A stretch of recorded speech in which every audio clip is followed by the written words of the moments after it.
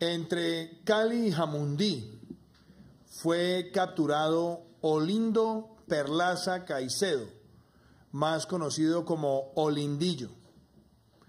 Este sujeto criminal intentó colarse en el proceso de paz con las FARC el año pasado.